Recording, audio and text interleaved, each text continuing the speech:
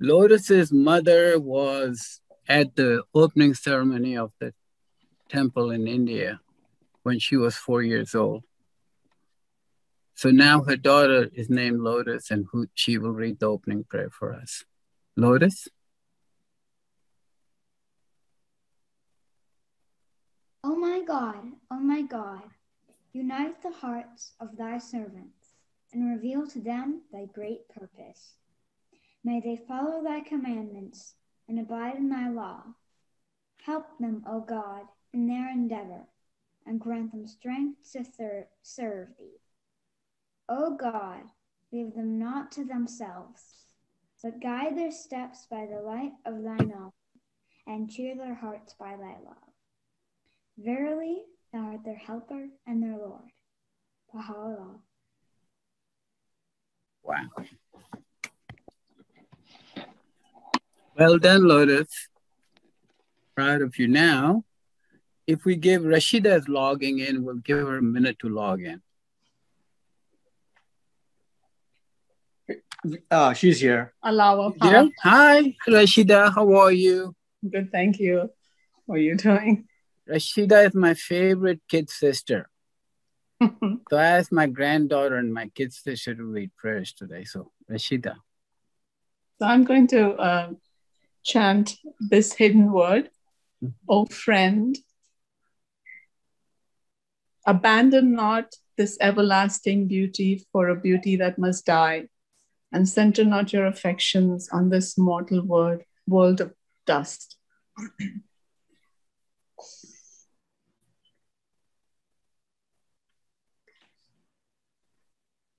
Edo جمال فانی میں مہو ہو کر جمال باقی سے دور نہ ہونا۔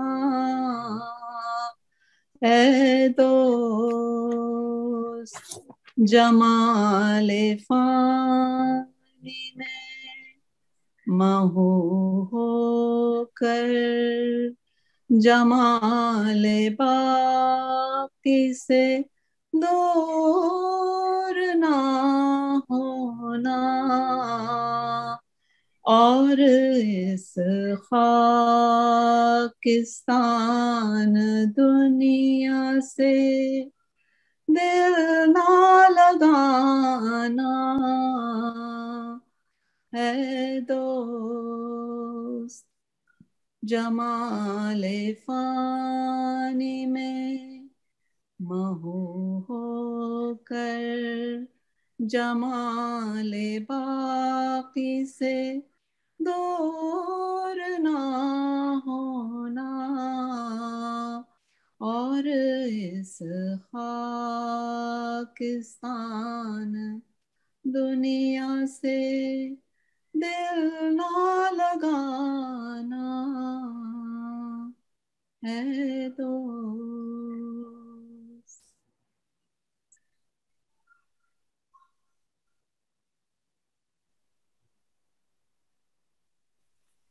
Thank you. Um, friends, it's, I will introduce you to Mr. Sahba here in a minute, but before I go do that, I want to point out that Mr. Sahba, after his presentation, will answer some questions. Uh, for those of you that are here on Zoom, you can post your questions in the chat section of the Zoom, and we'll present those to Mr. Sahba at the end of his talk. For those of you that are coming in on YouTube or Facebook, etc., please send your text me your questions, and I will read them to you. Uh, read them to Mr. Sahba. Uh, my phone number is 281 788 0380. Again, my number is 281 788 0380. Um, in, in, in trying to compile a bio for Mr. Sahba, I got online and I recognized quickly that I couldn't do it. He has a bio that is about six or seven pages long, and you don't want to hear me read his bio to you. Uh, sufficient it, it is to say that Mr. Sahba has been responsible for some wonderful buildings, Baha'i buildings around the world. He was involved, he was an associate architect for the design of the seat of the Universal House of Justice in Haifa. He was also associated with the design of the 18 terraces leading from um, on Mount Carmel. But of course, his piece that he did, he designed and he oversaw the construction for is this beautiful temple in India, the the call described as the Lotus Temple or the Temple of Bahapur. Um, it is a building that receives, according to studies, over four, well, this was all before COVID, by the way. It received 4 million visitors a year, and it the probably it is the most visited building in the world. Uh, there, nothing even comes close. Uh, Mr. Sahba has won, been recognized for his architectural work by most countries in America, Europe. Um, he has received awards for his work in that in the constructions of the buildings that he's done. He has also received awards for his lighting design. Um, he has been written up in over 50 magazines. He has appeared in universities and colleges presenting the Baha'i faith and the buildings of the Baha'i faith. There are no words to describe the achievements of Mr. Sahba, so I won't. But I will tell you something on a personal note. note. I have been to the temple in New Delhi, and I have seen the pictures of the temple in New Delhi. There is no picture that can do justice to being at the temple, to the actual building. It has an aura about it. It, it emanates spirituality. It is just wonderful. And I hope for those of you that have been there, you will get a chance to go back again. And for those of you that have not yet been, you will get an opportunity to visit. I'm delighted, I'm excited that Mr. Sahba accepted our invitation to speak to us here in Austin and I'm going to turn it over to Mr. Sahba.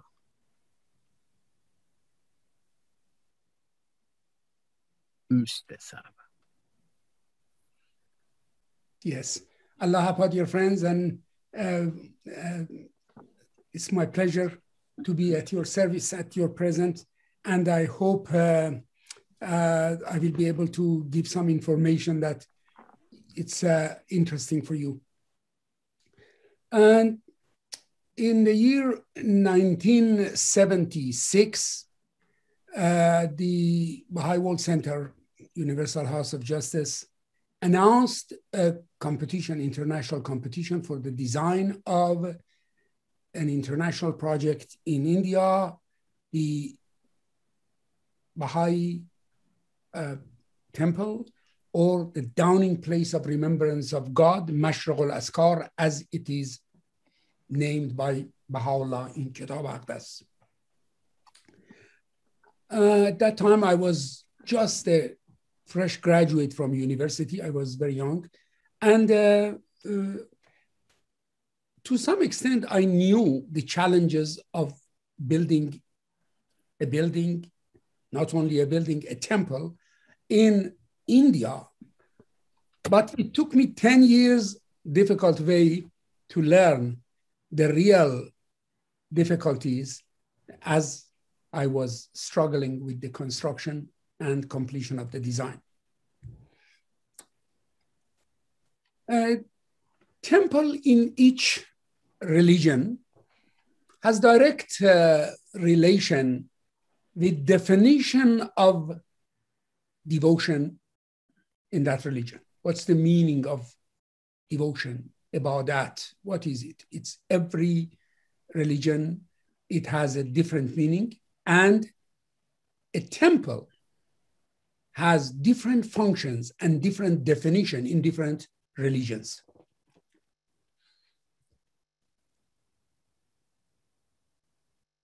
In one uh, temple, in one religion, temple is a place of um, really contemplation and prayer between devotees and God. In some temples, they are a place for social gatherings, getting together and discussing about religions or about the po- politic or about the events of the um, the time or a ceremony that somebody talks to us about God, what is this and what is that.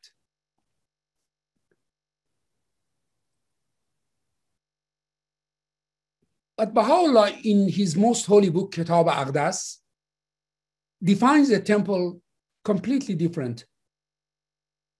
Of course, uh, uh, you know that uh, um, quotation, and uh, Baha'u'llah says that in every city, in every land, there should be a temple. It should be built in the most beautiful way that it is physically possible in the world at that time And it should be built in the name of the Lord of the religions. باسم مالك الأديان بأحسن ما يمكن في الإمكان به اسم مالک الادیان It's a very, very fine point here. Most beautiful. Why? Why beauty is so important? In an interview with the CBC News in Canada, the uh, interviewer asked me that it seems Baha'is, they worship beauty. Is this correct? I told him at the serious risk of being completely misunderstood by you, I say yes, it is correct. The name of God, this is another thing. The most famous, one of them, maybe if we want to call five most famous architects in the entire world, I'm not talking about the world of religions, in the world of really uh, uh, commerce and uh, if you call five names, one of them is Moshe Safdie. Most famous is he was born in Israel, in city of Haifa, but became famous in Canada, in Montreal, and uh, in the famous building of Habitat. And uh, later on now, he has building all over the world. He's he has he's the the one that uh, built and restored the Jewish section of the Jerusalem and several museums in Israel, Holocaust Museum in Israel, several museums all over the world. His famous library in Canada is that uh, Rotunda in, in Vancouver. And his buildings in United States are monumental. In a talk, uh, I was also invited to give a talk about spiritual space, and uh, Moshe Safdie also was one of the speakers in that in Yale School of Architecture. He said, "It is so interesting for me that there is a religion in this world that their God is called Jamal, beauty." Baha'i faith. He said, It's so interesting for me that there is a religion in this world that can make garden a temple, a place of prayer. And this is true. He said, I became architect because I was inspired by the Baha'i gardens in Haifa. Because my house, when I was born, it was very close to Shrine of the Bab. And I was inspired by this building. Anyhow, this is it. Jamal Mubarak, the blessed beauty is the name of God. Jamal. Blessed perfection, Kamal. These are the name of the God in this dispensation. Why? Because, because uh, beauty is crystallization of a spirit in material world if you want to find a parallel to spirituality to a spirit to that refinedness that letafat that perfection that should be in everything the only thing equivalent to that in world of material because you have to make it like something that we can see, we can understand, that we say. Beauty is that perfection of a spirit that has that that it shows itself in everything. I'm talking about beauty of creation. God presented his own beauty in the nature, in human being. Bab himself says that God has invented us, created us so that we perfect his perfect creation. He says, if you want to, it is our duty to bring every everything in this world to its heaven. And he says, heaven of everything is its perfection. So that is why the Baha'i temples are beautiful because beauty is the magnificent perfection of God that He has put that in everything in this world. If there is one thing I hate in this world is beetles, susk. I don't like it. But there is a museum in Egypt from beetles. My God, they are so beautiful. The colors, they have the colors that emerald color colors, gold, silver, the beetle, because God has put essence of its beauty of his own beauty in everything so that we see his fingerprint. The fingerprint of god in everything in this world it, its beauty that's why baha'u'llah wants us to build a temple most beautiful. And for who that you're building that temple? For baha'u'llah? No. For god? No. For the God of religions, there is anybody has any definition of God, we built a temple for that definition, not for my God, not for Baha'u'llah's God, for any God that you think that is God. Even if you don't believe in God, you still believe in some force, some, some energies, that, that God we are building a temple in the name of that God. Why? Because the Baha'i faith has one major teaching, and that is unity. I'm sorry, sorry. The most important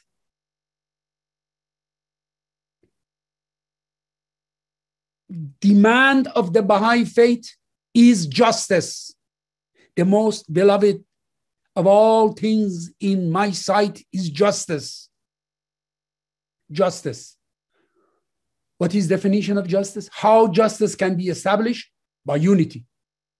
Unity. Then all of us are one. All of us are equal. All of us have the same right. All of us have the same opportunities.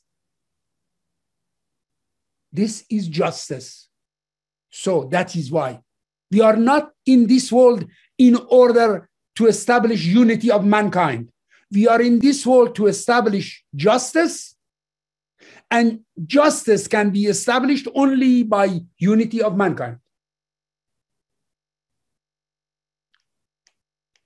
So the main message of a Baha'i temple is unity of religions, unity of God, unity of religions, unity of mankind. That is why we call House of Justice, Universal House of Justice.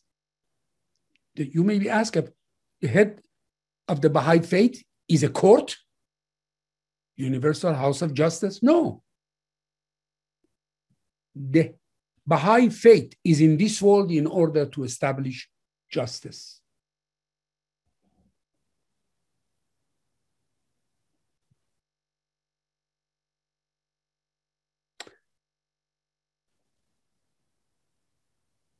In our daily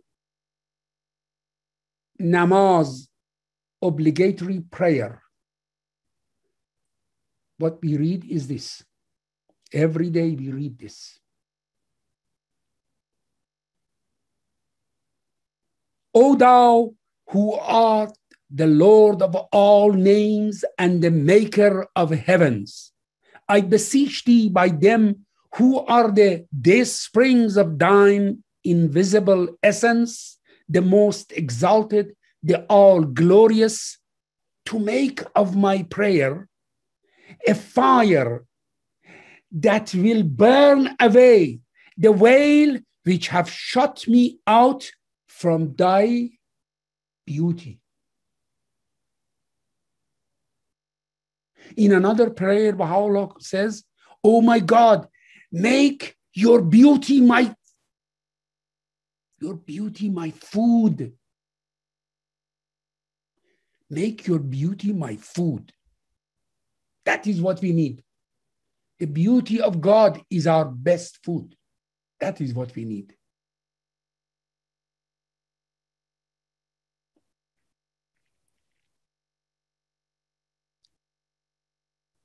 Otherwise, as far as temple is concerned, Baha'u'llah says, you know this prayer, every child in Baha'i, Baha'is, they know that. Blessed is the spot and the house and the place and the city and the heart and the mountain and the refuge and the cave and the valley and the land and the sea and the island and the meadow. Wherever mention of God has been made, that is blessed temple. Entire world for Baha'is is a temple. We are not building a temple that we go and pray there. In fact, we are encouraged to pray at our home. There are so many beautiful quotations that if you pray in one spot, if you choose one spot of your home and pray every day there, that place becomes, attracts concourse of high. That place become a temple, your home. We don't need to go to a temple to say a prayer.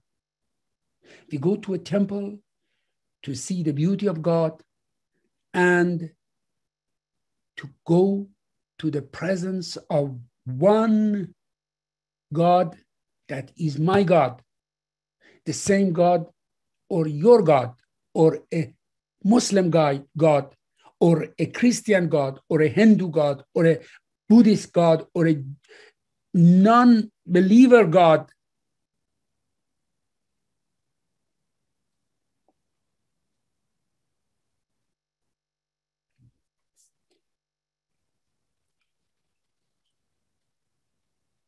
If we want to, we, what is prayer? Prayer is we are giving thanks to God. We are giving our gratitude to God. What is the best way to give your gratitude to someone? Tell me, if you want to, if you love work, artwork of Vincent van Gogh, or Leonardo da Vinci. How you can give your gratitude to him? By respecting his paintings, by being respectful to his paintings. If you want to say gratitude to Beethoven, what you will do? You will go and thank Beethoven? No. You will admire, you will appreciate, you will enjoy, you will play, you will learn, you will get drowned in the beauty of his music. If you want to say thank to God, you have to become intoxicated in love with his world, protect his world, protect his birds, protect his insects, protect his animals, protect his people, protect his nature, his river, his water. Sohrab Sepehri, our famous Persian poet, he says مردمان ده بالا آب را میفهمند گل نکردندش The people of the upper village they have understood the water. They didn't made it muddy.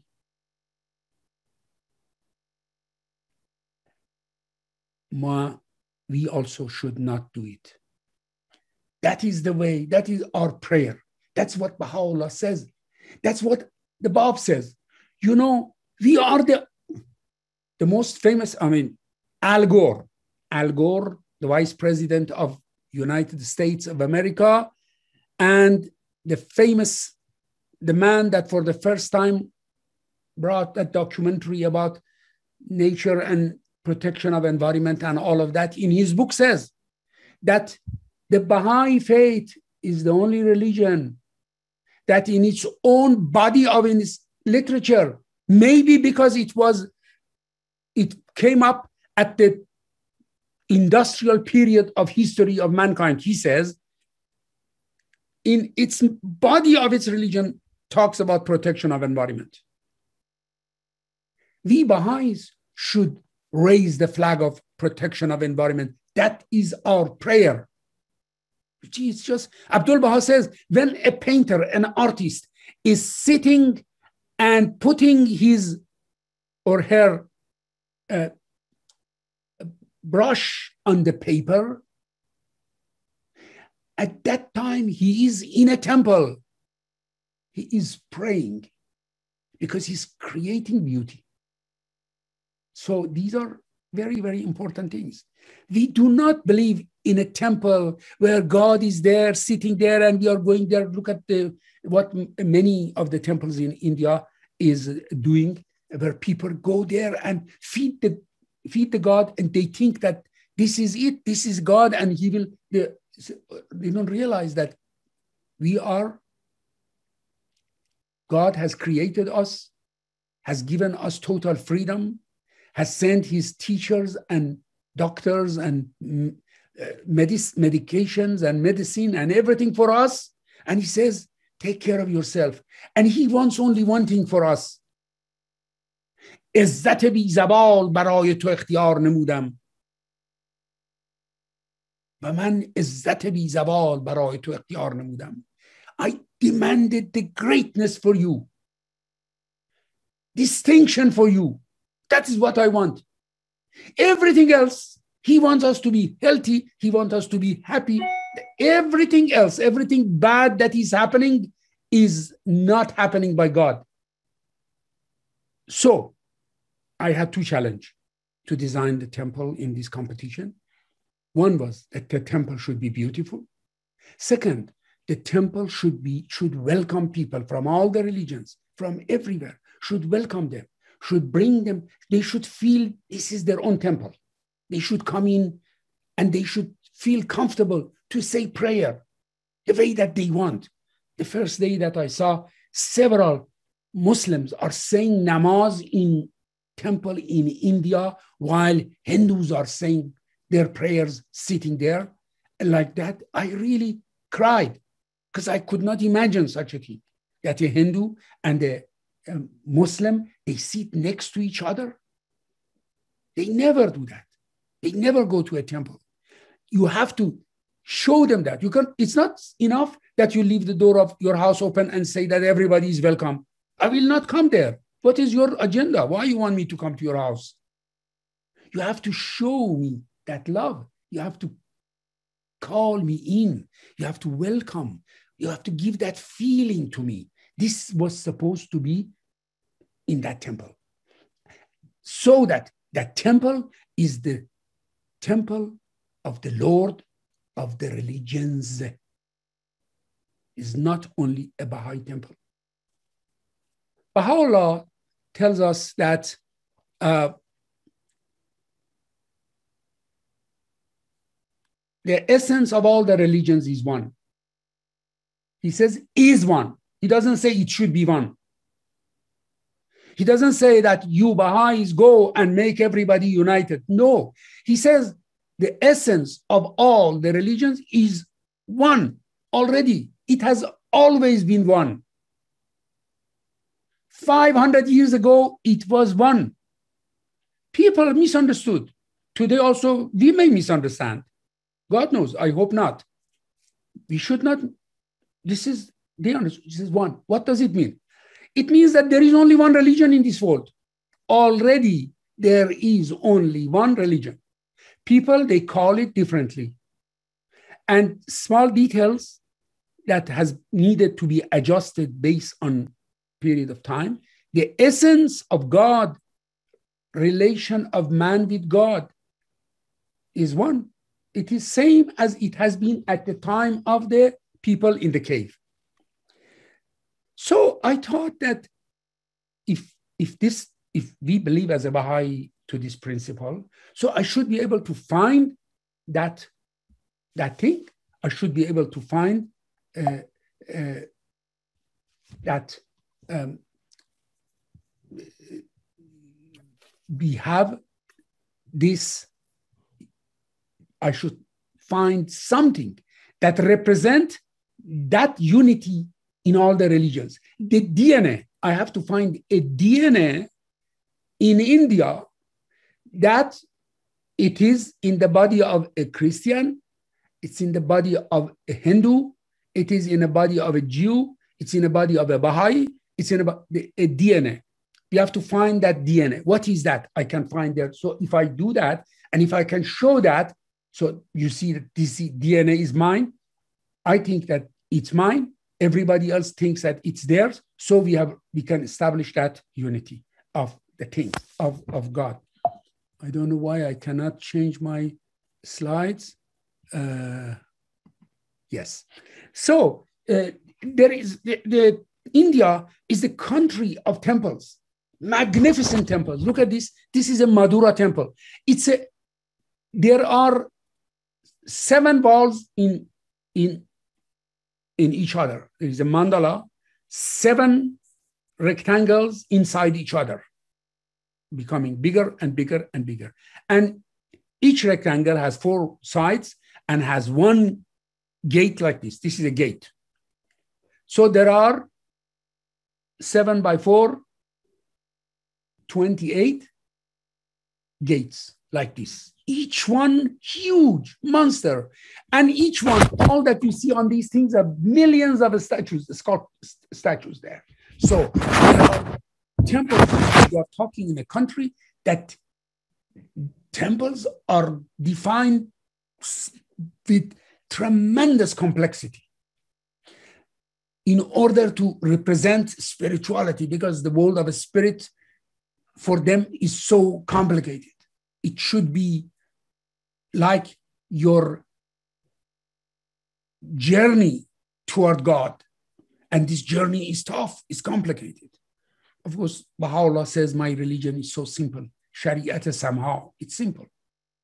It's so easy. So I was trying, I looked at all of these temples, and these temples are so different.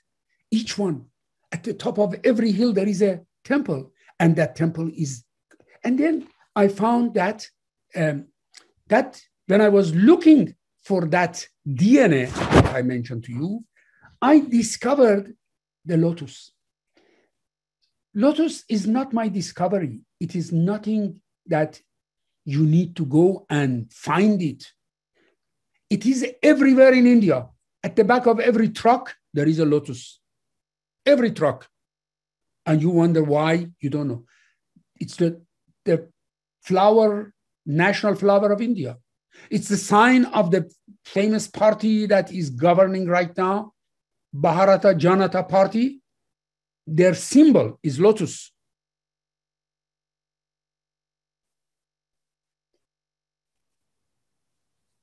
Buddhist, uh, sorry, before Buddhist, Hindus, Hindus, they believe Brahma, creator of the world, was born in a lotus flower that has grown from the navel of Lord Vishnu that is laying under the ocean.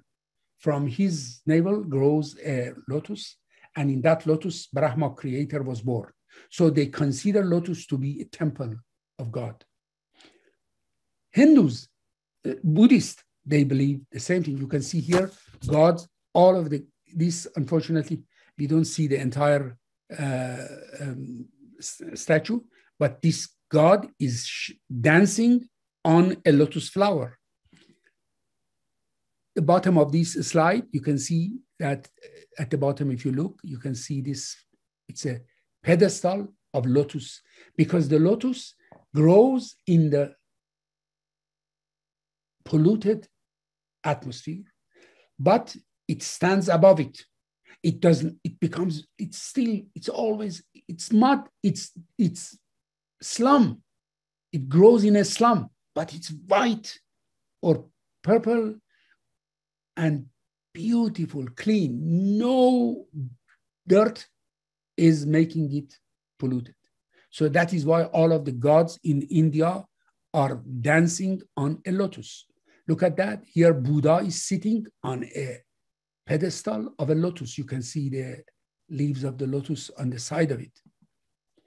Here, you see the lotus completely under his, his uh, uh, throne. Buddha says human being should be like a lotus that lives in this muddy dirty, polluted world, but should remain clean and spiritual and be above it. So, and the same thing is in Christianity. The same thing, the Professor Jung has written three volumes of books about symbolism of, of uh, Christianity, and um, it is uh, uh, lotus, the symbol, and the mandala is the mother of the plan of all of the churches famous churches of Christianity. But the, the dome of Taj Mahal, Islamic monument, is a lotus bud. Look at this. You can see the petals of lotus here. Bud. In Persepolis, you see in the hand of the kings and queens and the uh, um, um, generals of the army, you can see the symbol of uh, Izadi, greatness of God in the form of a lotus.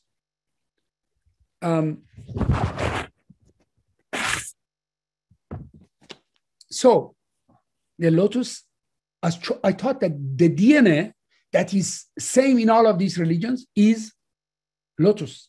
And I chose that one and I started, but the, I thought that this is something that all of the Indians have seen it every day they pray toward it. O ye jewel in the lotus. O ye jewel in the lotus. Om Mani Padme Om. I should say Om, not Om. It's Persian way of praying um, in Hindu language. It's uh, that means O ye jewel in the lotus. Who is jewel in the lotus? Brahma, God, is jewel in the lotus. And what is the jewel in the temple? The greatest name of God at the top of it. So we, I um, chose that one, and um, uh, the, of course, it's also so beautiful, and uh, um, that was the um, now. Um, when I went to India, when I went to India, I realized that we, we are strange. We are a foreigner. I am a foreigner. Baha'i faith is a religion that they think it has come from outside India. And all and they, they have to understand that this temple is their own temple. Right opposite our temple in India, there is a very, very famous Hindu temple called Kalkaji Temple. Kalkaji Temple belongs to a goddess, the most vicious god of India is a woman. And that is called Mataji or Kali. Kali or Mataji means dear mother. So uh, the dear mother is the god that represents the wrath of God. This is right opposite the temple. So when I went to India, the first thing I did, I went to to the to uh, to uh, this uh, um, temple opposite our temple, and I talked to uh, to this uh, um, to this uh, um, um, priests pandits that they are there, and I told them about what we are what we are doing. I told them that um, uh, uh, we are here. I said that, please, now imagine these are the people, these are the type of workers, laborers. Right when I went to India, they, this is exactly our construction site. They were excavating the foundation of the temple at this time. At this time, that nobody knows what is this building and we are going to build. And uh, uh, the, these are the type of labors that they are working. I went to the temple and I met with the priests of the temple that they are spiritual people, leaders, and all of that. And hardly they, they don't understand one word of English. And I've gone there. I want to, I went to the temple. I pay respect to them, to these people. I met with the with five of these priests in the temple. I had sent a message that I want to come and pay respect. Then I went and I told them that I have come to build this temple. This temple is not any different temple. This is your own temple. This is Kalkaji temple. This belongs to Kali. We are building it. What is Kali? Lord of religions. Lord of religions. Baha'u'llah says we are building a temple in the name of the Lord of religion. Kali is one of the Lord of religion in Hinduism. So this is your temple. We are building it here. And we ask you to come and bless it. Come there, see this one. We are building that. And we, I pay respect. We presented some sweet and gifts and all of that. That is tradition to have to put it in front of the gods. And I did all of that. And we came. And uh, uh, then we started. My God, this is the way that you have to pour concrete in India. These are the labors. I have sent a, a British project manager because I didn't want um, architects normally they don't do project managements. They just design the building and they are involved in the beautiful part of the job. The dirty part of the job is done by others. So they, I told, I left. I I had a Mr. Watson, a very distinguished, 56 years old at that time. I was 20 some years old, uh, kid really. And I wanted to, I sent this man to India and he went there and he came, he just was constantly complaining that, my God, these are not workers. This is not concrete. How we can do this work? We want to build some kind of things like that. And anyhow, in about a year time, he went back to for holiday and he didn't come back. So I had to take over the task of project construction myself and um, first thing that I decided was what Baha'u'llah has said. بد مشنو و بد مبین و خود را زلیل مکن و عویل بر میار. Don't see bad and don't hear bad. He doesn't say that they are not there. He says you don't see it, you don't hear it. And don't make yourself down by getting mixed in these kind of things. Don't bring your status down to nothing. So I said, if you have, you have to follow what he says. So I remember the first time we had gone there, my children had arrived, my wife and my two children had come there, and we had we were sleeping at, at, at home, and there were two big lizards on the roof, on the ceiling. And they're and these my kids were so scared. My God, what are these things? I said to them that these are our pets. This one is Georgie, this one is Georgette. They are going to be here. They said they are not going to fall down. I said, yes, sometimes they may fall down.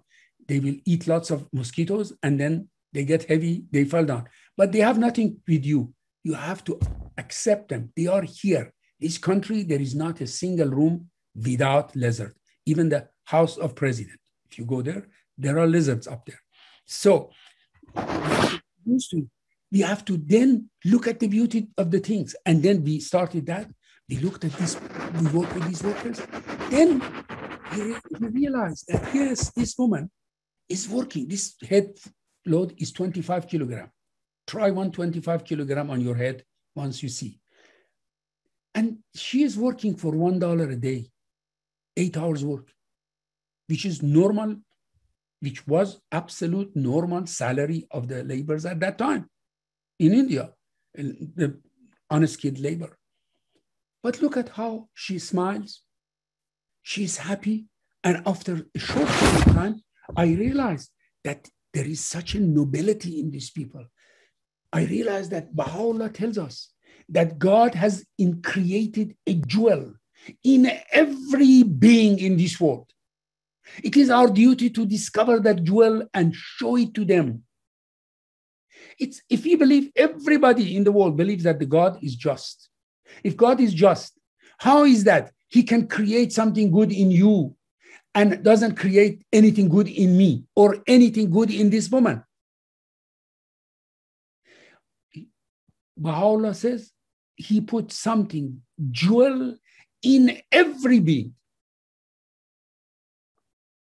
You have to find that jewel. And you have to help them to find their jewel. Then they become, they will become brilliant. They will show it. And then this is what I was trying to, uh, to do that. And uh, you know, imagine this temple. I created school for them we had 150, this is one of the classes, 150 kids that they are naked, they have no, they are, but they come at the construction site and they are there. They play, normally in all of the construction site, they play. Some nail goes to their foot, so what? I mean, they pull it out and throw it out and they continue. And they have no education, no nothing. We create, we create at the school, teachers, these are the teachers at the back, uh, they, they came from, I we invited them from a Mobile Creche that they come and teach them. And uh, I want talking about the nobility of these people. These people, the tools that they have, I will show you some of their tools. They're so funny, so primitive. They bring in a certain day, it's called Vishva Karma Puja, the day that they put all of their toys, uh, their tools, they put it in front of them. They bring a priest, these are the priests, to say prayer, thanking God for giving them those tools. That believe me, you will not accept any one of those tools in your garage. I will show you some of them. I've kept all of them in the museum at the temple.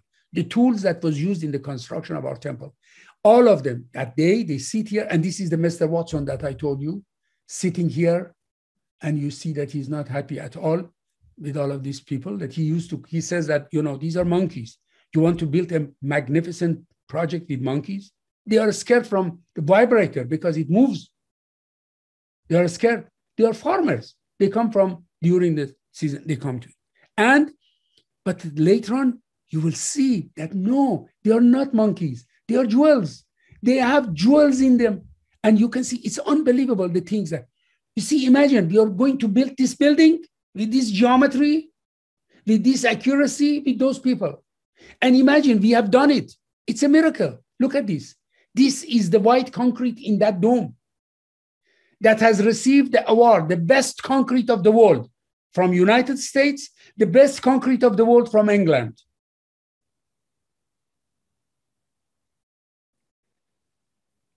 And look at this the perfection of concrete. This is not painted, it's touched, untouched concrete. Of course, right now it's not like that. If you go there, pollution has made it brownish. It has not been cleaned for a long time because it's so difficult. But uh, of course, it's possible, but we have to do it. Uh, you have to do it. These are the toys, the tools. This is plumb, a plumb. That building, that building does not have one straight line, one straight line. Everything is curved, double curve. This dome is combination of nine sphere that they have gone into each other. Nine spheres, they have gone like this into each other. Look at that. This is one, if you continue, sphere. This, this is one sphere. This is another one sphere that they've gone into each other and they've cut each other. Not a single line. So everything of this building should be built with coordinates, X, Y, Z, three coordinates. And coordinates should be established by plumb and but but it's it's done in United States by theodolite and electronic levels. These curves, this geometry, not one single line is done by that. And those people are not used to centimeters. They measure things by hand, very they say. One inch here and there, it doesn't matter. This building is so accurate, plus minus two millimeter. It's accuracy. It's written in several of the magazines that are published. They are House of Justice have said that there are more than 400 publications in the Baha'i World Center that has coverage of this temple. And now this geometry we are going to work and this dome, imagine in that heat, temperature sometimes goes to 50 degrees Celsius. 50 degrees Celsius. Do You know what is 50 degrees? It's really beyond your imagination. Celsius, not Fahrenheit. Uh, you can calculate it how much it is. It is beyond the, the metal, the, the temperature on the metal was 56 degrees. We had to, like, if I wanted to go up the structure, you have to use uh, gloves that you can you can touch it. It's so hot. And all of these workers, they are working on this. Now, my structural engineer wanted to do this. They said, you are building this. We have to build it in layer by layer, layers of one meter each, one meter, one, one, one, 1.1, 1.2 meters maximum each. And I was telling them that I want entire building to go as one continuous concrete. And they said, this is crazy. You cannot do it. It's impossible. And in fact, my structural engineer, my British structural engineer, Dr. Flint, left the meeting. He was so angry. He told me that, you know, Mr. Sahba, you are arguing with me because you are too young and you don't have experience. If you knew what are you talking about, it's impossible to pour a concrete like that at this height. The weight of the wet concrete will be so heavy, no structure can tolerate it. And this, these leaves are some of them, the dome that I showed you inside, is only two inches thick. These, these, petal, these petals are only two inches thick, two inches, five centimeter. And you, you have to pour concrete in between in one piece, it's not possible. And I was talking about an absolute crazy method that I was insist that it's possible. And Dr. Flint left the meeting and said that, sorry, Mr. Sahba, it's not possible. When he left the meeting, my Indian engineers, the young engineers, they were all more or less my own age or a bit older. And they had no experience whatsoever in that. And they told me that, Mr. Sahba, are you sure you can do it? We can do it. What you say? I said, yes. I was not sure. I was sure because Baha'u'llah has said that if you work hardest possible for what you think is correct, you will receive confirmation. And I was sure that I have done maximum that I can do. And I think it's possible. And I said that I have talked to those workers nights and nights, showed them, they call it film. I showed them film and videos, and I told them that we are going to do a miracle. It has never been done anywhere in the world. A concrete like this, shell structure like this, has never been done in the world before this project or after this project. In fact, on a lecture that I gave in Princeton University, head of the office of Louis Kahn, that still is functioning. Of course, Louis Kahn is dead. Louis Kahn was the president, uh, was the dean of the School of Architecture in Yale for several years, and he's very famous in India for his building in Ahmedabad. Those that they know is one of the most famous architects of the world. And that at his time, of course, he's dead now, but his office functions. He said that he said when I come came here, I had come to criticize, but when I see the building, I realize that the things that for years I thought it's absolutely impossible, by best technology of the West. This is exactly written in the, uh, uh, the uh, magazine of the Institute of Architects of United States. Uh, record architecture, it's a, no, sorry, architecture. Later on now, now the their official magazine is record. At that time, it was architecture. It says that the best technology of the West failed to achieve shell structure of this height, this level, this length and height. And uh, the most primitive technology of India has done it. I talked to those laborers and I was sure that these noble laborers will try, will do their best, and we will be we will succeed. Imagine they are making all of the concrete at one. The operation needed 400 laborers to work. In 48 hours, in four shifts of 12 hours each. 12 hours. They have to work like ants. I will show you now the slides, you can see that. And look at this the workers, look at the safety shoes, helmet, nothing. It's not possible. I was insisting to the contractor that you have to do this.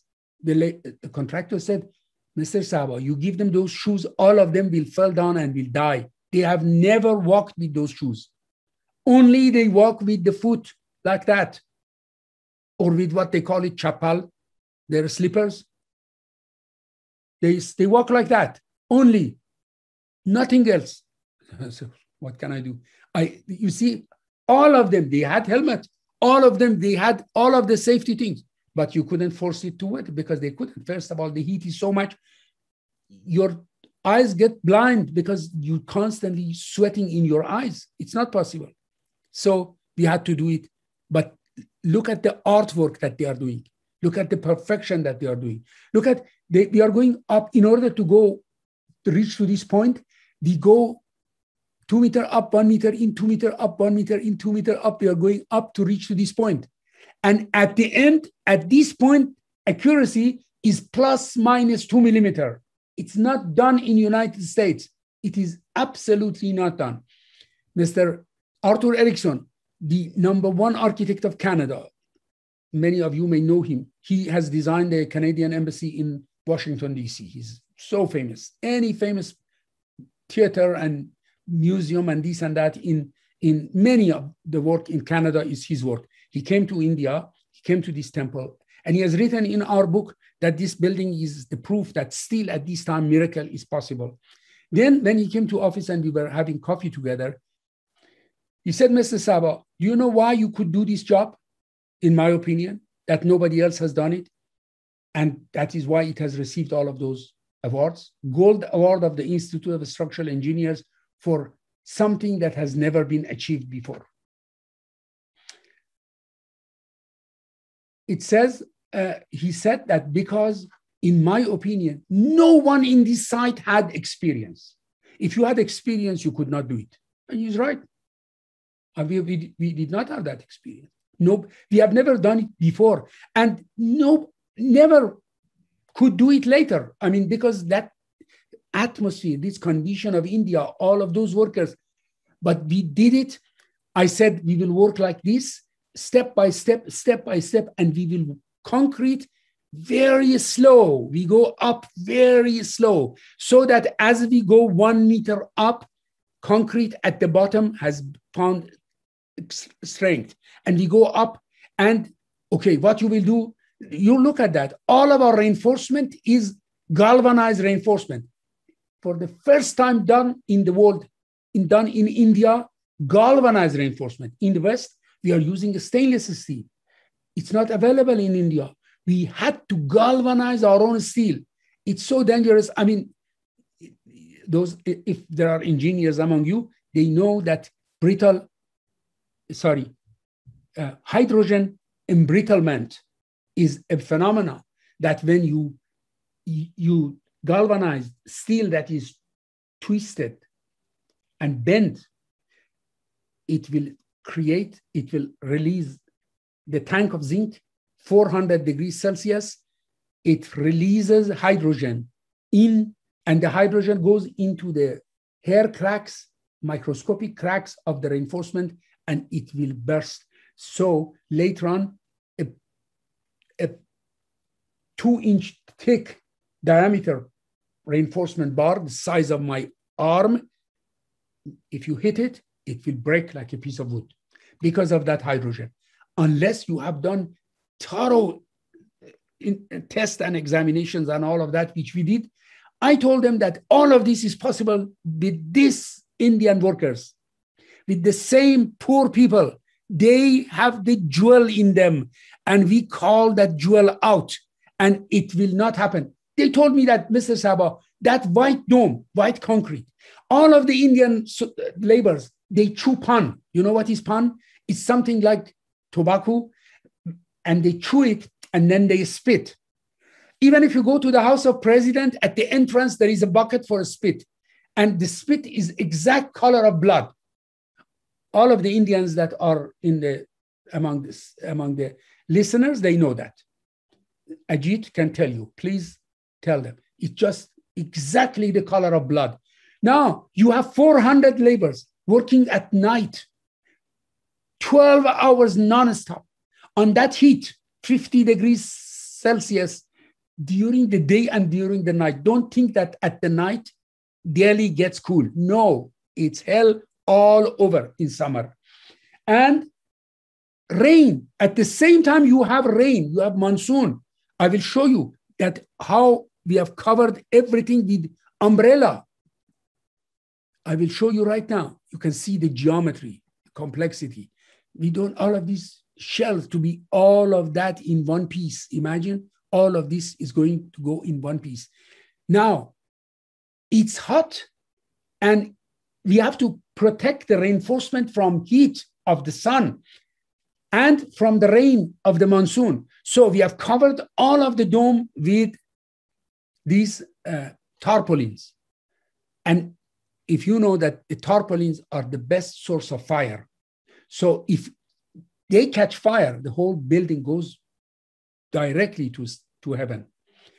Uh, for 400 people are under this. Imagine all under this. And this, we have covered entire dome with these tarpaulins from the rain. All is covered. We start pouring concrete from the bottom, we go up. They tell me, what if one of these laborers at night spit in this concrete? Either because he's by mistake or because he's sick of your face, or because he's tired, tired and sick of his own life, or because he hates you, or because he wants to sabotage. One spit, when you open the concrete, after you cannot open this concrete, you have to complete the dome up to the top and then open it. And when you open it and it's bloody, spit here, spit here, you can see that red color. What will happen? Said, no, we talk to the, we call the angel of the hidden in every heart of these laborers. They will not do it. We did it, friends, and they never did anything wrong. We opened the temple dome and you saw that interior dome. That concrete was done by these laborers. Look at this man, this man with the hat, with the helmet here. His name is Avtar Singh, Mr. Avtar Singh. He's a Sardarji. Sardar, it is. They had to shave their head This was at the time of the when Mrs. Gandhi was killed and there were riots and all of that. And many of Sardars, they shave their, their, they cut their hairs so that it's people don't realize they're Sardar. Anyhow, that one night we were working here at night. This concrete goes for 48 hours. That means two days and two nights. I was standing there. This man came to me. He, he spoke very bad English but he told me um, that uh, I, I, I realized that he wants to say something. I looked at him. I said, Avtar Singh, you want to tell me something? He said, yes. He said, my mother told me today that you have to be ashamed of yourself that you are building a temple in the name of God for money. You should have worked kar seva, means voluntarily. He said, I told my mother that I need food for my children and that's why I get money. But he said, I've come to tell you that my contribution is that I worked much harder. That is my contribution. It really shook my heart so, so seriously. This is a jewel in this man or not. I will not move my finger eight hours for $2, not even for $20. Do you do that? I say, just shake your, move your finger. They are working all day for that with that nobility. And I told them that we are building this temple. This is going to be a miracle in your name. You have done it. Without you, we couldn't do it. Show to the people of the world that you can do it. And I swear to Baha'u'llah, they did it so beautiful. And I think Baha'u'llah was with them all those nights.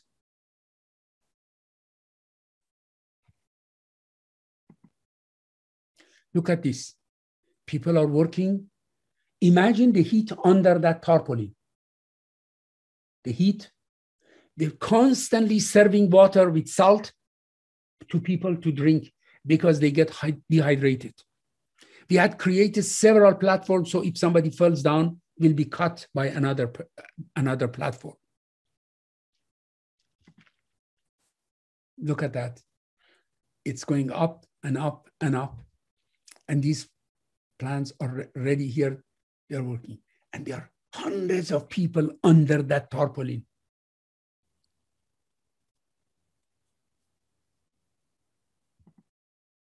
at night.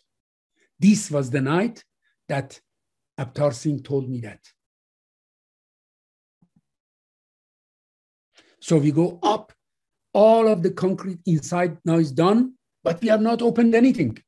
We don't see anything. We don't know what happened. We don't know if somebody spit or not. We don't know if a rubbish fell down or not. We don't know if somebody's slipper fell in it or not because it's possible. But nothing happened, nothing.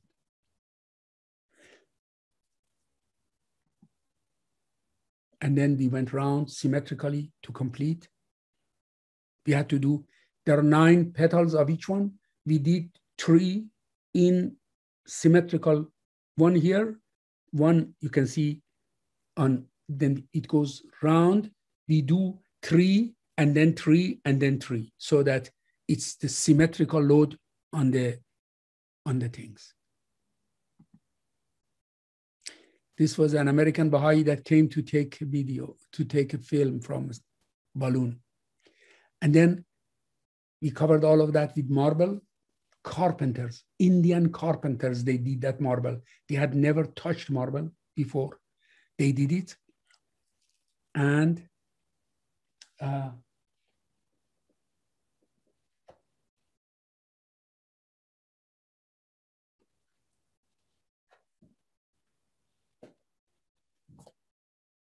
Now, this is when the temple is open and the, the, meditation. You see that this geometry, this complexity is done.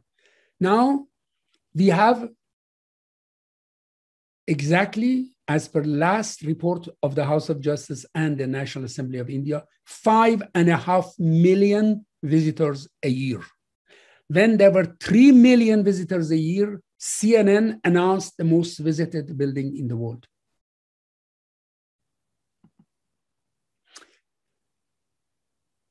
Look at this and then imagine what would have happened if one of the laborers had done a mistake.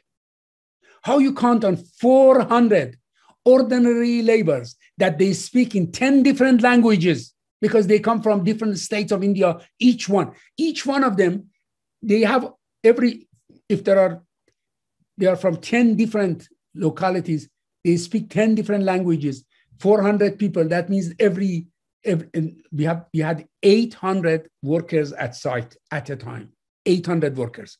400 they work on shifts like that. 800 workers divided to 10, that means every 80 of them had one translator who speaks either Hindu, uh, either Hindi or English. Most of them had to speak English because the, the only language that they knew other than their own language, these people in every state was even it was English. That is why it was uh, really used. Imagine that these workers with this way of concreting have done that concrete. This is miracle or not? In this space. This is one of the spaces in that dome. See, this is inside. We had to choose small labors to fit in.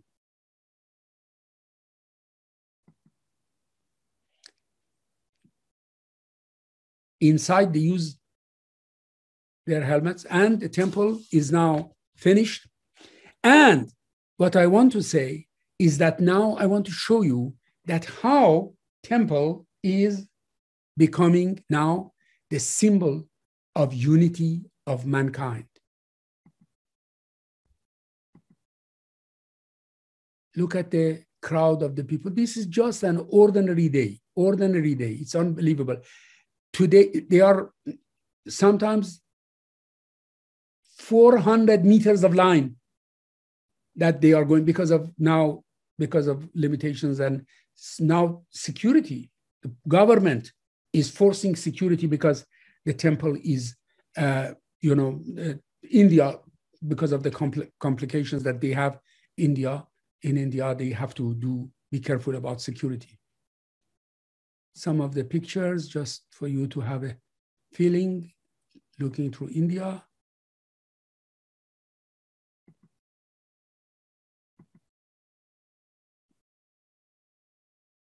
These are at the time of construction, last days. This is a museum that we have made at the temple that shows, introduced the Baha'i faith and all of that, and it shows the way that the construction was made. A museum of tools. Look at the tools. This is drill. Drill. The one that each one of you have a, I don't know, Black and Decker or Hilti drill in your garage. Some of you have four of them. This is the drill that we had. I had to smuggle myself in my suitcase one drill, electric drill. We need 400 of them because there are more than 40,000 holes into the into uh, it, that have been done in the concrete. This is a drill by hand. These are all, this is the arrow and that magnificent artwork is done by these tools. These are bought by my people from the laborers at site. All of them, none of them has come from outside. Everything has had a role in construction of the temple. This is the complexity of the dome inside in a model. The symbol of all the religions at the temple. When you enter, you can see a Hindu temple, you can see mosque, you can see a Baha'i temple, uh, and you can see uh, this is Christian church and all over.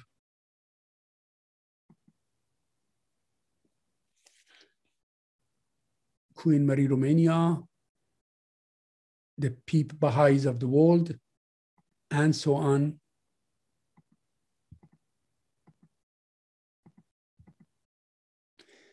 This is world famous musician that has passed away, Ravi Shankar of India, who this is just an ordinary day at the temple. That is the museum at the top. You see the one that you see at the end is like a hill. You go under it and, and you can go at the top of the hill and have the most beautiful view of the temple. Now, look at the books. Uh, this is modern architecture in India. Temple is the post-independent perspective, the, the symbol of the post-independent architecture of India. In this book, it's introduced.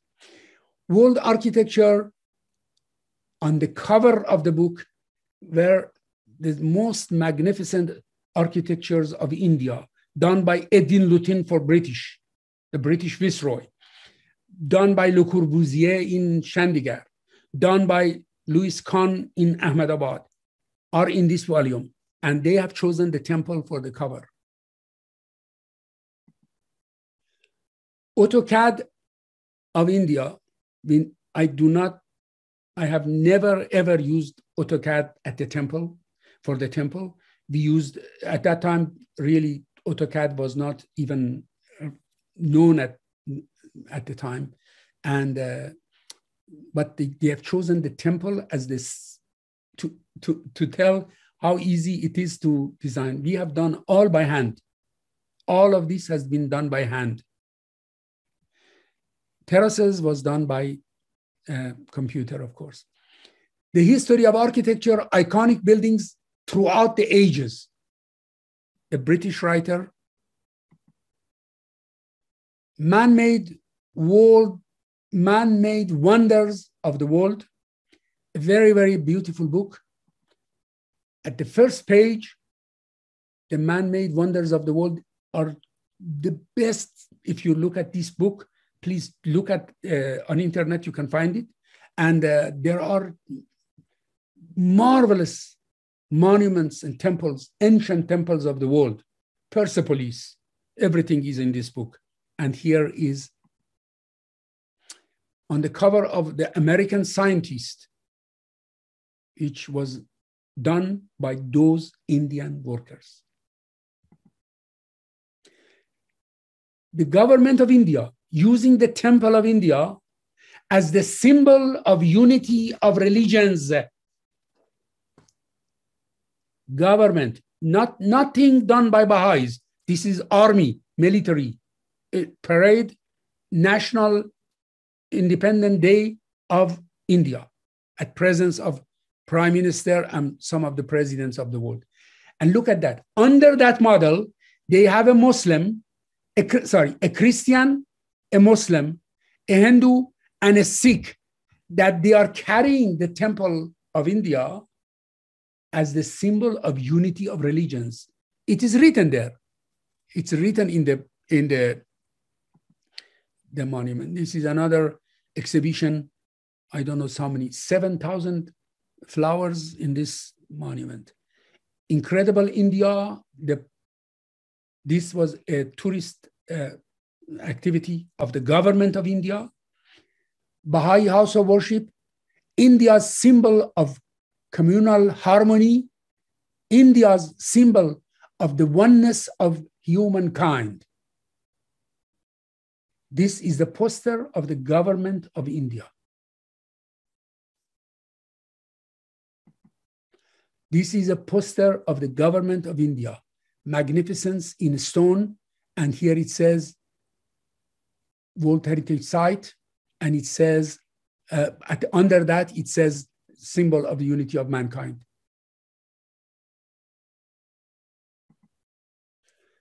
This is a poster of the government of India Ministry of Tourism in Ottawa, Canada. Baha'i House of Worship, India's symbol of unity of religions. Do you see on that? Ministry of Tourism. This has nothing with the Baha'is. This is a airport. I don't know where, where uh, I believe it is in New Zealand, but I'm not 100% sure because I have so many of them. I can show you till tomorrow morning of these things. Here also it says India's symbol of communal harmony. This is governor of Delhi that is giving the award because to the temple as the symbol of uh, unity of mankind. One night at the temple,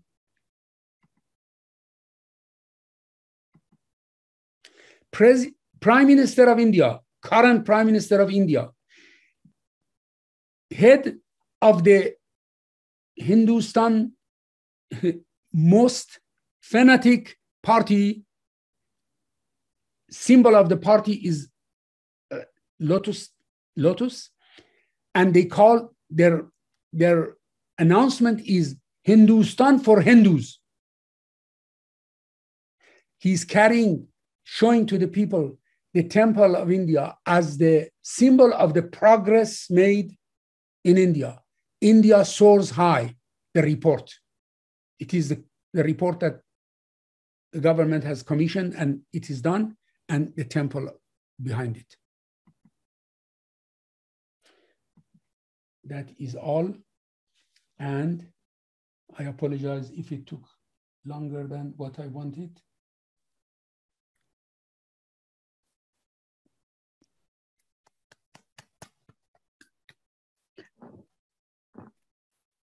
Thank you.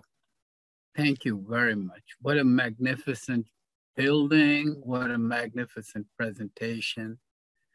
Uh, people, put your questions in chat if you have any.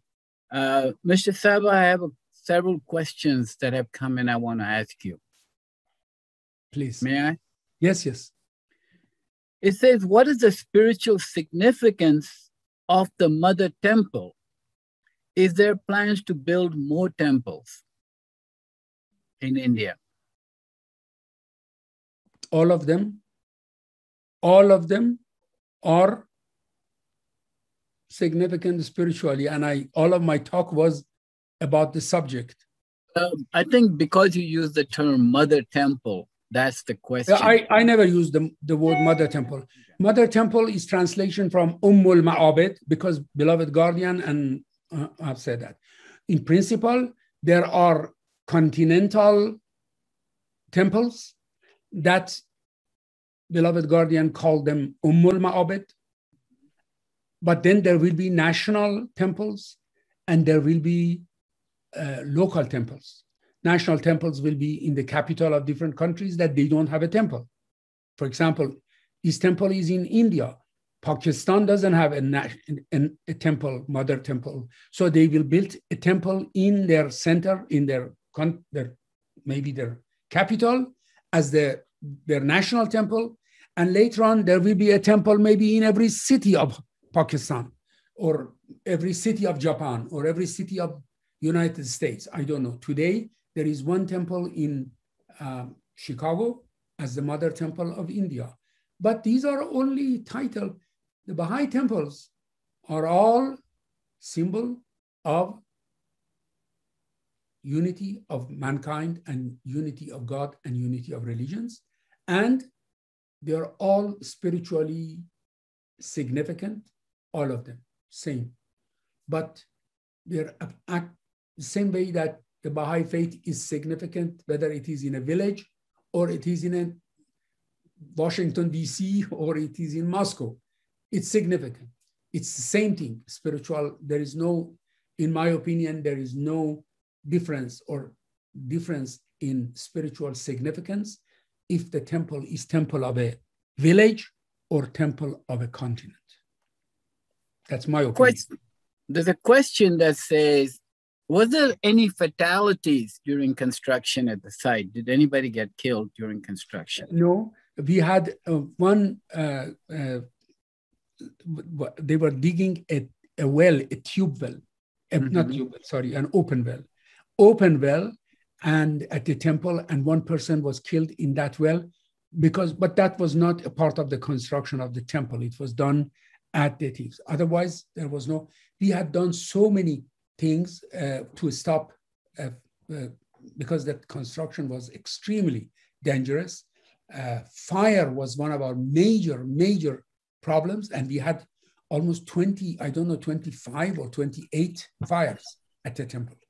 And uh, but we had made arrangements to fight the fire because the government firefighting and the Department of Firefighting uh, told us that they cannot help us because the temple is too high and the radius of the access to the building uh-huh. is too short. And the building at the beginning was all wood. And this is a religious building where those of you know that fortunately, fortunately, what we had done, I want to tell you so interesting a story that uh, one night, I, you remember I told you that I went to that church, to that uh, temple, Hindu temple, and I talked to them about that this is the temple of Mataji and all of that. One night, my security guard, that was a Baha'i, uh, the head of the security, was a Baha'i supervisor, um, that he's now in Australia, uh, Mr. Nabi. He was there. And he, uh, I hope uh, uh, I'm um, giving the correct uh, names right now for that event. you remember at that time I was very young, and at this time right now I am not very young at all. So, uh, but I have written all of those things in different documents. Now, he called me at home and he said, Mr. Sahba, please rush, come, come, come. I said, what is wrong?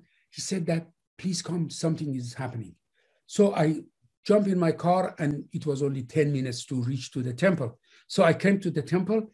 As I reached to the temple, he ran toward my car and he said, everything is okay, everything is okay. I said, what was wrong? He said that I saw that hundreds of people from the temple, from the, the Kal- Kalkaji temple, are coming, walking toward our temple. And uh, I, they are sitting on the border of the temple.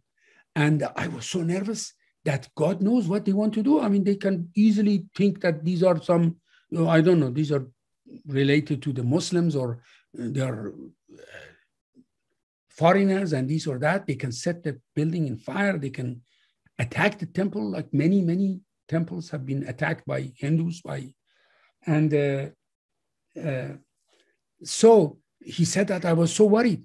But he said when I went, I went close and I asked from a couple of these uh, villages what is what's happening. He said that the the pandit that priest told us that uh, has told us that this is a new house for Kali. After this is built, this building is built, the Kali will move to this new temple. So we are coming to say prayer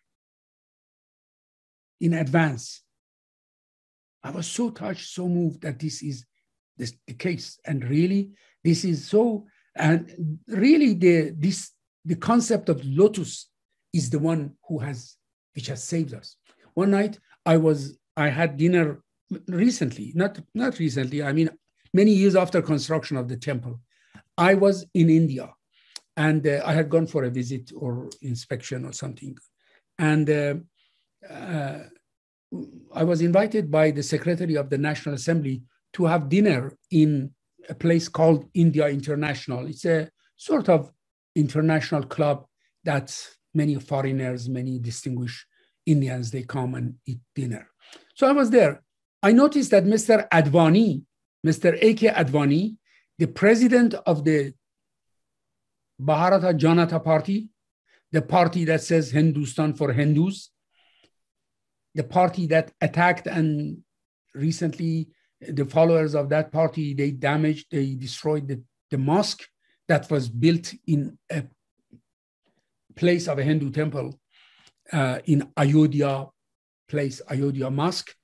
Uh, these people that really they are, they don't like foreigners, they don't like other religions other than Hindu temple. He was having dinner with his wife at the India International Center. They were sitting there alone. As we wanted to go out, I stood, uh, I stopped at his desk at his table, and I said, Mr. Advani, I'm so honored to see you. I was, I am the architect of the Lotus Temple, and I was honored when I was here. Ten years I was here, and I and had uh, heard so many things about you, and I know you, and I just wanted to say hello. He said, Oh, welcome, welcome. Please sit here. Please sit. I sat in his table with the Secretary of the National Assembly. And he said, You know, Mr. Sahba, there is a beautiful Baha'i temple in United States. Have you seen it? I said, Yes, I've seen it. It's in Chicago and Illinois and all of that. And I have been there several times. He said, I was there and uh, a very nice young lady was guiding me and tell it, show, showing me around. She was very polite. She was very welcoming. And uh, she said, uh, um, I told her that, uh, have you seen our temple? Our temple? And she said that she took me, she, she took my hand and took me to a auditorium. And there they were showing a video of the, of the temple, of the Lotus Temple. And I told them that, look, our temple is more beautiful. I was so really moved that here, look at that. A person that should he called the temple my temple, our temple. This is exactly what we wanted to do. And in fact, when that, that mosque was, that the mosque was destroyed, and uh, recently there is always dispute whether they have to rebuild the Hindu temple in that place or a mosque. And there is a dispute. One of the very famous South Indian uh, scholars and Hindu uh, leader wrote, he said that in my opinion, they should not neither build a Hindu temple nor a mosque. They have to build a Baha'i temple because it's open to everyone. And you sh- I, I, showed you that video, that pic- sorry, that photograph of a, um, uh, the, the governor of Delhi that was giving awards. You saw that picture. That lady on that day, at presence of, I would say, 3,000 Baha'is that they were in the gathering, uh, she said his, her talk is available on Google, on internet. I have the link. Um, I can send it to Ajit and she can share it with you. He can share it with you. He speaks in front, she spoke in front of all of us. She said, Today, as I was coming here, my granddaughter, small, young granddaughter, seven, six, seven years old, told me that I wanted to come with you. Can you take me to the Baha'i temple? I said, How is that? All of these years I have gone everywhere. You never asked me to come. Now you want to come to Baha'i temple. He said, She said, because when I grow up, this is what the governor says said, when I grow up, I may become Baha'i. I said, oh, why? How you know that? What do you know about the Baha'is? What do you know about the Baha'i temple? She said, oh, you don't know internet? Everything is there. Read it. I said that. But she said, I told her that. But she said, you know, she said, Baha'is, they love everybody. They like everybody. So if I, be, if I become a Baha'i, I am friend with everyone. She said, this is my granddaughter. Can you believe it? She's telling me. So this is it. And the effect of the temple. I had, I can show you there. You can find it in uh, Facebook. Um, several stories that I have said, I have given uh, on Zoom, maybe 17 or 18 or 20 stories I have said on Zoom. And I have showed the slides and things uh, about the temple and about the shrine of the Bab. And uh, in that I have shown so many documents and videos and everything to show that how people of India pay respect to the temple of India and they love it. And uh, they had put, um, there is a temple in south of Delhi, uh, south of India uh, from Ganesh. Ganesh is the elephant god. I mean, Ganesh is one of the most beloved god gods of India. And everybody loves Ganesh. And uh, in that, Mr.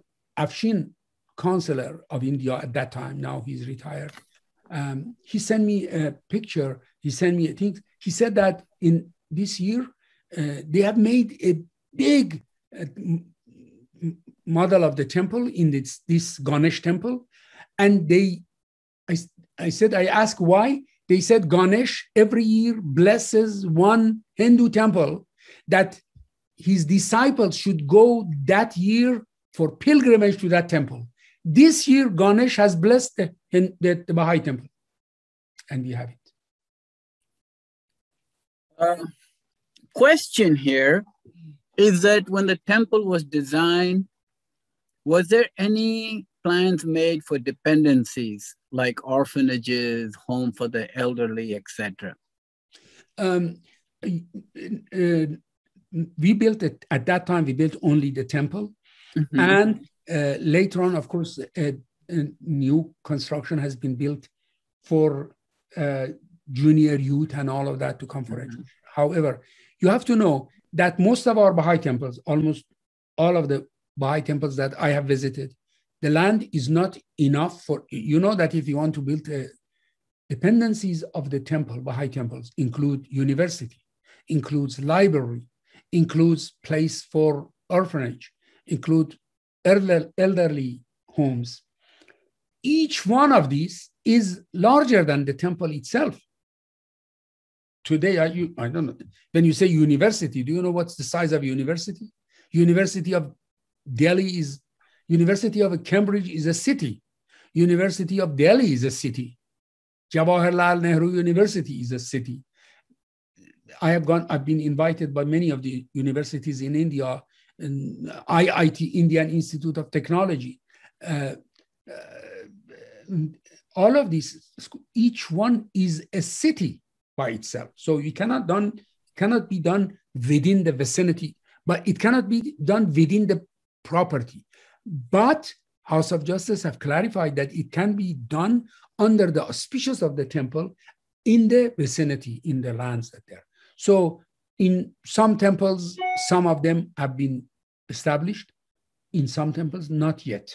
And right now, it's uh, uh, we need even to administrate these things. We need lots of uh, energy and uh, uh, budget and all of those things. These things, many of these things, is possible when we have much more number of Baha'is in those those localities and that they can finance it and they can do all of that. And so far, they are doing whatever they can. And uh, right now, we have at the temple, we have built a place for volunteers. All of the volunteers that they come to do that, they stay there. We have a place for uh, junior youth that they come, and uh, we have a place for uh, st study of the Baha'i history. We have a library with uh, many of the holy books and writings, but uh, not orphanage or this or that's mm-hmm. many of them. Uh, um, I was scheduled to stay at the men's dorm March and April of 2020 before COVID shut it down. Yes. So the question here is, what was the duration of the project from start to finish? 10 years. Uh, we did um, six months it took for me to do the preliminary design and be approved by the House of Justice. Six months.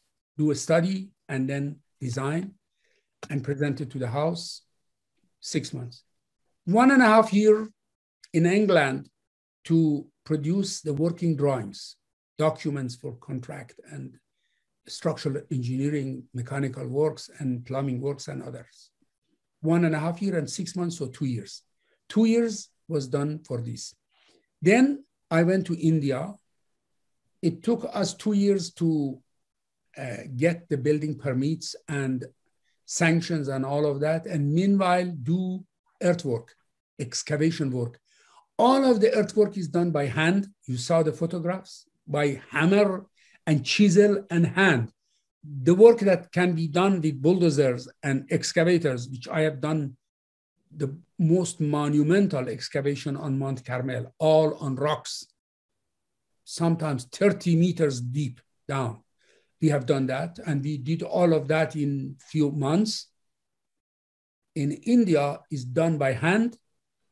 You break the rocks piece by piece, and these rocks are quite strong. Some of them are like a granite. So they have you have to break it piece by piece, and every labor carries one piece in their head and they go and dump it somewhere and come back and all of that. And uh, all of that work. It took almost two years. We do all of those things and get at the same time approvals and permissions and do some contract uh, relationship and uh, do some mock-ups and samples and all of that. And then uh, this is four years and six years to really do the whole structure mm. uh, from superstructure really after done foundations are done the superstructure and landscape and everything. There's a few messages here for you personally people thanking you. I will read one. No no please send them by email thank you okay. so much you can send all of them by email to me right. thank you i am so grateful to all of the friends and i have been always in, in much more than what i deserve i have been showered with love and uh, support of the dear friends, and I'm so grateful to you. Thank you so much. We are most grateful that you agreed to do this. We are honored that you agreed to do this. And being from India, having been to the temple, having listened to Ravi Shankar's music when I was there, I'm moved by your presentation. I'm, I'm like uh, L.K. Advani saying, This is my temple. Yes. I take ownership of this temple. Um, I pray that all of you that have a desire to go will get a chance to go. It is the most magnificent building. It is a, it, it, you will be remembered for a thousand years for the building of this temple, Mr. Sahba. Thank, Thank you, you, very much for what you have done for the faith. I tell you, you, what you said is absolutely true that uh, believe me, I have worked on all of those details and I know them better than my hand. But uh, every time I go to the temple, I really see, when I see the real dimension in reality, it's so completely, uh, really overwhelming. And it's really important that you see the temple. The photographs are not just justice. For, for the rest of the friends different, we will have convene again on June the 4th uh, with Dr. Robert Henderson giving talk, speaking about the cost of racism, material, spiritual, and moral. I will be sending out invitations to you shortly. Mr. Sahba, thank you very much. Thank you so much. Thank you. Good night.